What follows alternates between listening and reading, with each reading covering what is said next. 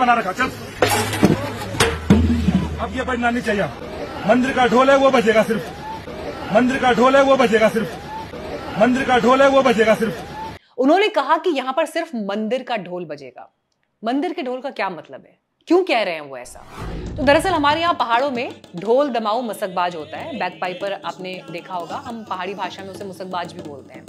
ये हमारी पहाड़ी संस्कृति के सबसे बेसिक वाद्य यंत्र हैं और हर शुभ कार्य पर इन्हें बजाया जाता है। हमारे यहाँ जागर परंपरा भी है, जो हर परिवार या गाँव के अपने सिस्टम से चलती है, जिसमें देवी देवताओं का आवाहन किया जाता है। और इस ढोल दमाऊ की पवित्रता का अंदाज़ा आप इस बात से लगाइए कि उस समय जब देवी देवता प्रकट होते हैं, यानी किसी दूसरे इंसान पर जब वो मैनिफेस्ट होते हैं, ये अब आप वो हॉरर फ़िल्मों वाला पोजेशन या पोजेस कर लिया, वो मत, उससे कंफ्यूज मत करिएगा। बल्कि अगर आपने कांतारा फ़िल्म देखी है तो उसमें जब धार्मिक आयोजन में देवता को आपने प्रकट होते हुए देखा है, ठीक वैसा ही कॉन्सेप्ट है हमारे पहाड़ों में। देवी देवता जो है, वो हमारे स्थान देवता होते हैं, कुल देवता है, ग्राम देवता है, जिनमें नरसिंह भगवान है, खड़क धारणी भगवती हैं, नागरजा हैं, क्षेत्रपाल हैं, राजराजेश्वरी, भुवनेश्वरी बाल कुमारी देवी, ये सब देवता प्रकट होते हैं। और मैंने सिर्फ़ कुछ देवताओं के नाम लिए हैं संख्या में ये और भी हैं। तो ये सब देवी देवता सिर्फ़ और सिर्फ़ इसी ढोल और दमाऊ पर नाचते हैं। अब यहाँ इस नाच को आप वो परफॉर्मेंस वाला नाच मत समझिए। ये नाच मैनिफेस्टेशन है। ये नाच डिवाइन है। ये नाच ऊर्जा का संचार है और ये नाच एक दिव्य आशीर्वाद है। और वो व्यक्ति जो ये ढोल दमाऊ बजाता है ना, उस समय वो व्यक्ति एक गुरु की भूमिका में होता है।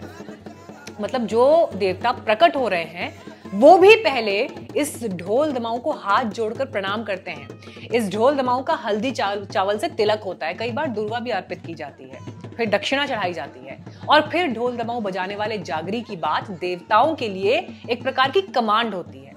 तो ये जो मैंने आपको एक खाका खींचा, अभी ये बहुत बेसिक बातें हैं। इस परंपरा के बारे में बहुत बेसिक बताया ताकि देश भर में जहाँ से भी लोग मेरा वीडियो देख रहे हैं, वो ये समझ पाए कि हम पहाड़ियों को इस वक्त पीड़ा क्यों हो रही है? केदारनाथ में ये सब देखकर। मेरे बाबा के धाम में अगर कोई ढोल बजेगा तो वो मंदिर का डेडिकेटेड ढोल डमाऊ होगा। ये एक तरह का प्रोटोकॉल है। सैकड़ों वर्षों की ये परंपरा है। इस तरह से सोशल मीडिया की आंधी में हम इस परंपरा को उड़ने नहीं दे सकते। और इसीलिए इन सभी व्लॉगर्स और इन्फ्लुएंसर्स से मेरी हाथ जोड़कर प्रार्थना है कि चलिए, जिस बात की पहले आपको जानकारी नहीं थी, आप ये सब करते चले गए, लेकिन अब कम से कम आगे से मत करिए। अगली बार जिस दिव्य स्थान की यात्रा कर रहे हैं, पहले वहाँ के स्थानीय बिलीफ्स और परंपराओं की स्टडी करिए। और फिर अपनी यात्रा को यात्रा की तरह करिए। और यहाँ एक और बात ज़रूरी है, जब मैं ये उत्सव रूपी भीड़ देखती हूँ ना तो पता है इसका सबसे बड़ा नुकसान मुझे क्या दिखाई देता है? जो हकदार हैं, जो डिजर्व करते हैं, जिनका जाना बनता है, जिनके लिए ज़रूरी भी है, वो लोग या तो भीड़ की वजह से पहले ही जाना कैंसिल कर देते हैं, या फिर वहाँ पहुंचकर वो साधक जो आँखें बंद कर बाबा की ऊर्जा की अनुभूति और उनके साथ एकात्म को अनुभव करना चाहते हैं, उनका स्पिरिचुअल एक्सपीरियंस भी ये इन्फ्लुएंसर्स बर्बाद कर रहे हैं। अब बात यहाँ सिर्फ़ इन्फ्लुएंसर्स की भी नहीं है, क्योंकि नासमझी, अज्ञानता और गंभीरता की कमी तो दिखती है।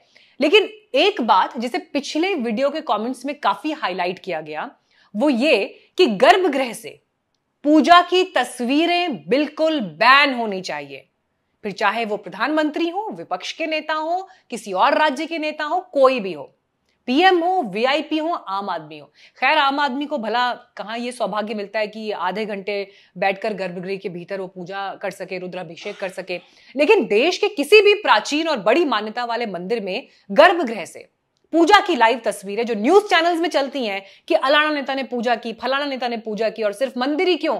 अलग किसी दूसरे धार्मिक स्थल पर भी आप जा रहे हैं तो जो पूजा की तस्वीरें हैं, जहाँ पर कोई कर्म कांड किया जा रहा है, वो वीडियो प्रतिबंधित होने चाहिए। केदारनाथ हो या बनारस, इसकी ज़रूरत नहीं है। आप मंदिर के मुख्य गेट की तस्वीर, चाहे न्यूज़ चैनल्स और ट्विटर, फेसबुक पर डालिए, लेकिन आपने कैसे रुद्र अभिषेक किया, कैसे साधना की, कितनी देर पूजा चली कौन सा मंत्रोच्चार हुआ, ये देश को जानने की ज़रूरत नहीं है। ये किसी भी नेता और अभिनेता का अपना पर्सनल कार्य है। प्लीज़ इसे पर्सनली रखिए। बाकी भाषण में आपको जो बोलना है, आपको आपको अपने जो भाव ज़ाहिर कर रहे हैं, वो आप करिए, उससे कौन रोक रहा है आपको? लेकिन पूजा पाठ की आपकी ये तस्वीरें कहीं ना कहीं सोशल मीडिया की जनता को खाद पानी देती हैं और उसका नतीजा इंस्पिरेशन के रूप में ये भीड़ है।